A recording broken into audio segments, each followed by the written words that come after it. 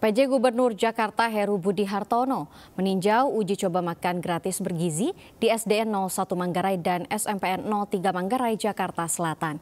Uji coba makan bergizi kali ini menyuguhkan menu dengan harga variatif, mulai dari 20 hingga 25 ribu rupiah.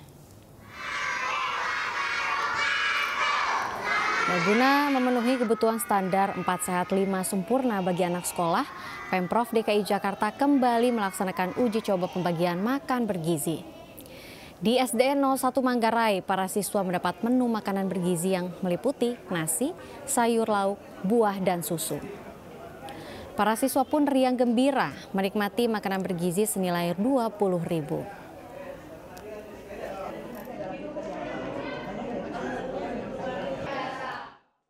Nah, kita sedang mencari pola kalau ini nanti serentak se-Jakarta khusus SD dulu polanya bagaimana.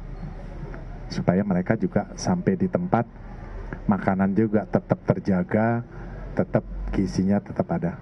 Oke. Okay?